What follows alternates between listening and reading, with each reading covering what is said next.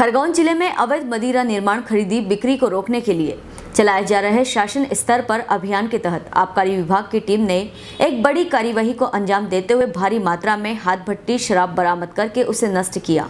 महुआ लहान जब्त करके सघन धाराओं के तहत अपराध पंजीबद्ध किया है।